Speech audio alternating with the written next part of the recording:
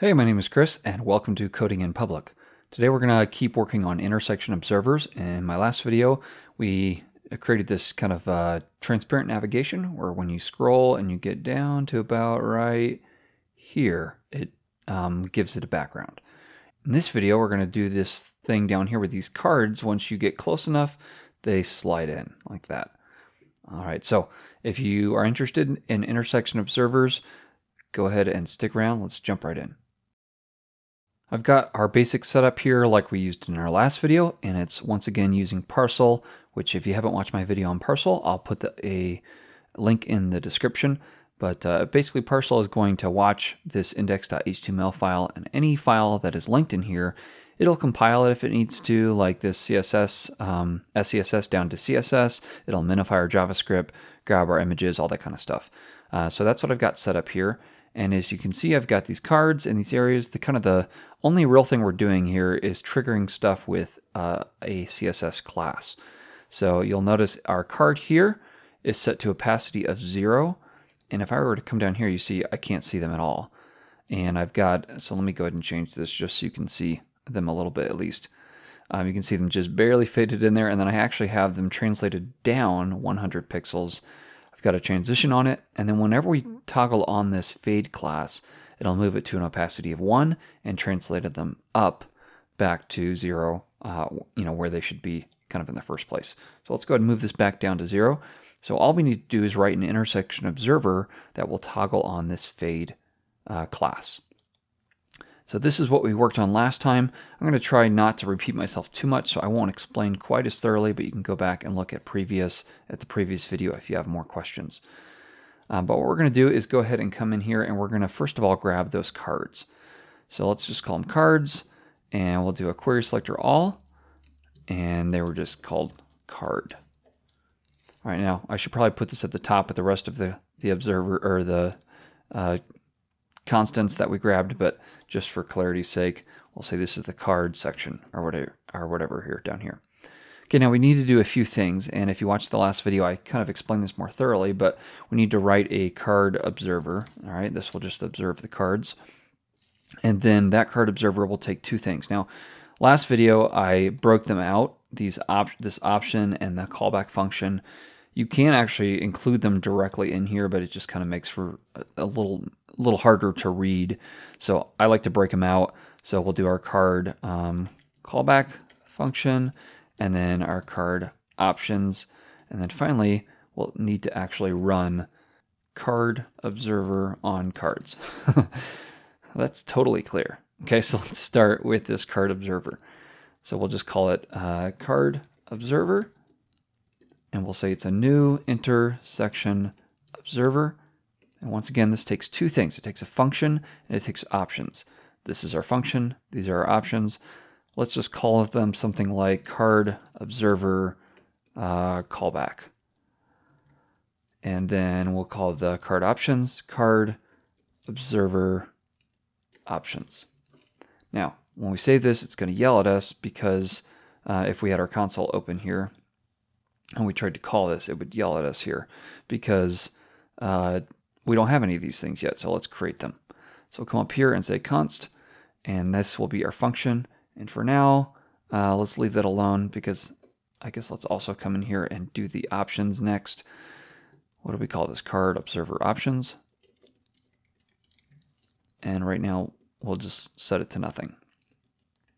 It's definitely yelling at us now, which this is one of the cool things about Parcel is it not only gives you, um, you know, an error in your actual console, but the web page itself shows you exactly where the problem is. I think that's kind of cool. I mean, it's got an emoji. So anyhow, we come in here and the card observer callback function. So what we need to do is we're going to pass in two things. Whatever we pass in, all right, we're not going to call it that, but and then we need to pass in the actual card observer. So here's what we're watching. Here's what we want to do. So these kind of reference each other. And I'm just going to keep this as an arrow function here. And we'll eventually do something of value here. Let's just call this like cards. Um, that might be confusing because of our cards here. Cards to watch. Perfect. Okay, so cards to watch. Uh, we're going to say for each card to watch, uh, let's grab the card to watch. And we're going to console log the card to watch. All right, um, now we haven't done anything yet. Let's do one more thing, which is we need to actually run the card observer on our cards.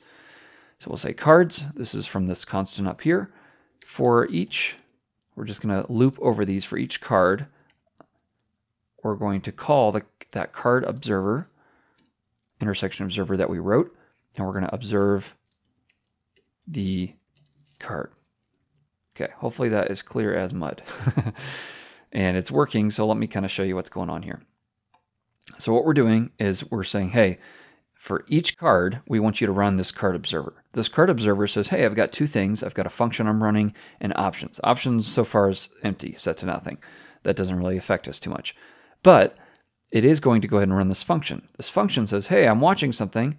It's watching whatever was passed in, which is this card. For each of those cards, I want to console log the intersection observer entry. These entries contain a bunch of things. They contain the intersection ratio, how much it's or whether or not it's intersecting, if it's visible, all the the intersecting rectangle. Right now, none of this is intersecting, so nothing's happening.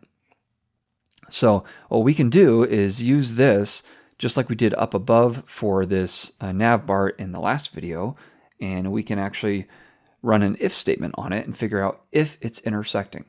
So the easiest way to do that is to come in here and say if uh, let's, what was that? We called it card to watch.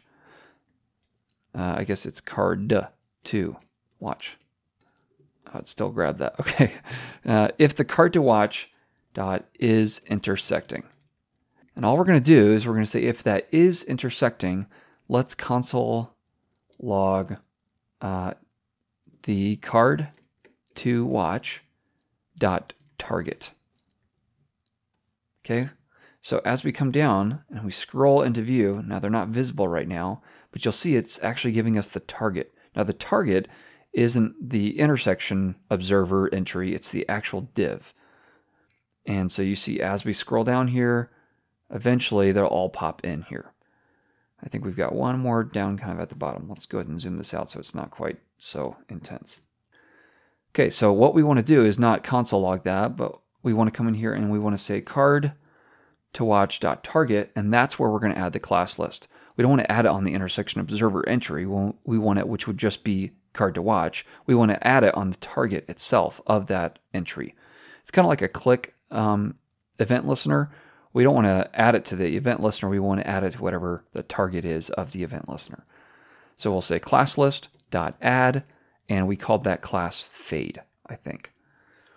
So Let's come in here and as we scroll down here, you see it's adding it just like that, which is cool. Now here's the thing, if we come back up this way, they're just gonna, you know, stay right where we put them because we haven't removed them at all. But we're actually still, um, we've got the intersection observer still watching. We can figure that out because if we come in here and we say console log card to watch, and uh, as we scroll, they're going to console log as they show up. And then every time we move, you see it's giving us more intersection observer entries. Even though we don't need them anymore, it's already faded them in. So we can actually call unobserve on that card observer. So we'll say whenever, as soon as you've faded it in, then go ahead and unobserve that card to watch dot target. Okay, so for that specific div, stop watching it. And now if I come in here, let's go ahead and do card to watch here again as console log. I shouldn't have deleted that. Um, so we can come in here and it's immediately showing up. One more time, it'll show up for these final two. But now if I scroll up and down, it's turned off that observer, so it's not updating those anymore, which is what we want. We've got just one more thing to do, and I'm going to go ahead and close the console here. The final thing to do is there was, we created kind of a little delay in it on the example. So here what it's doing is as soon as it's in view here, it's starting to fade it in. But you see there's really not too much of that card in view when it's doing that. So let's go ahead and pass in uh, this uh, threshold for that card. Now we could do it with a margin, a root margin like we did in the last video, but in this case I think the threshold makes more sense. We're going to say when 50% of the card is in view, Oh, and again, I keep adding the semicolons. I did that in the last video too. Uh, as soon as you add, as soon as 50% of the card is in view, count that as finally being on the screen. So about right there, and then it scrolls in. About right there, and then it scrolls in. Now, you can do whatever you want with this fade class. I don't know, let's come in here and do something kind of stupid. Uh, let's come in here and say uh, nth type, or nth child, I guess. Let's do nth last child.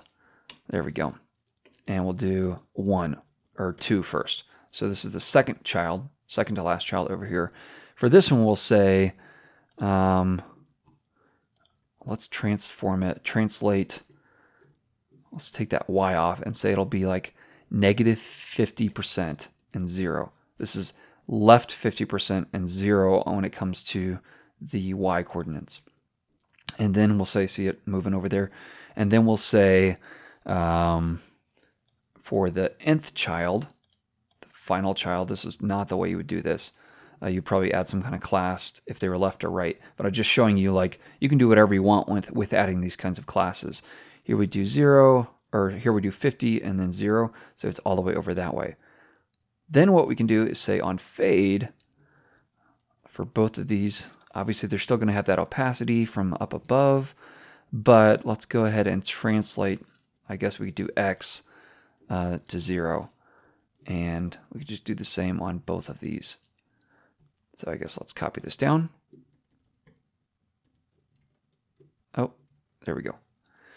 Okay, so let's re refresh the page. And as we come down here now, these are going to scroll up and these are going to scroll in from the side. Okay, now you probably wouldn't do it like this. Like I said, you maybe would have a class like fade left, fade right, and add those to the various cards. But just so you can see that you can do whatever you want with these. Um, I don't know. I think that's kind of cool.